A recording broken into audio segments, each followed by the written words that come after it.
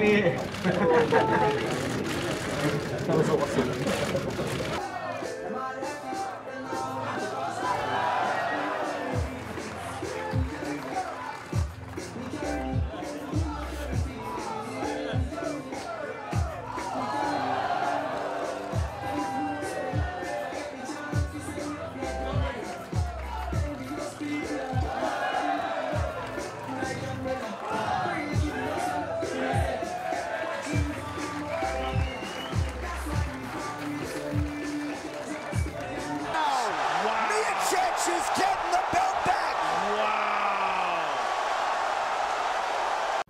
Saw some criticism. People say the punches weren't really necessary. Maybe They were super necessary.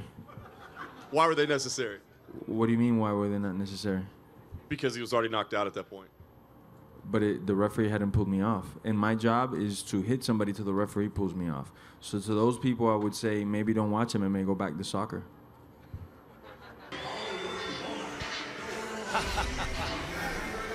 Well, you won't find anyone with more energy on fight week than this man.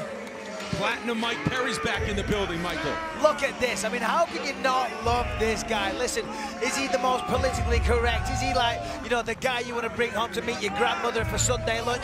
No. But if you like fights, you watch the UFC, you want action, then Mike Perry is your man. And I'd say his wife is as well. The pair of them entertaining the crowd with their own little dance routine here. Love it. His longtime fiance Danielle Nickerson, soon to be his wife, because he Pardon says me. after this fight. uh, Look at this. Love it. well, Incredible. September is when they're getting married. I believe September. The Shui Basa Oh, no, no, himself. no, no, no. Tai Tuivasa. Oh, throw up. He's gonna do it. that is not his sneaker. Oh, of course it's not. That would be delicious. Oh, Cub Swanson getting in the act. Oh God. The shoeies, look at that.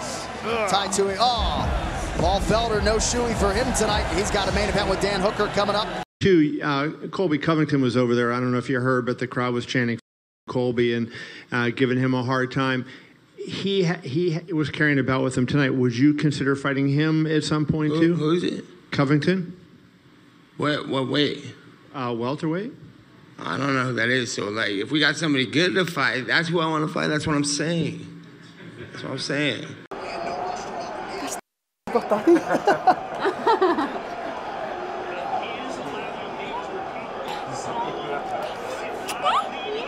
That's a good put down. Fried chicken and a can of Coke. Ah, you've missed the emphasis. It's chicken. Ah, Coke. fried chicken. Coke. Fried chicken and a can of Coke. Embraces that as we can see.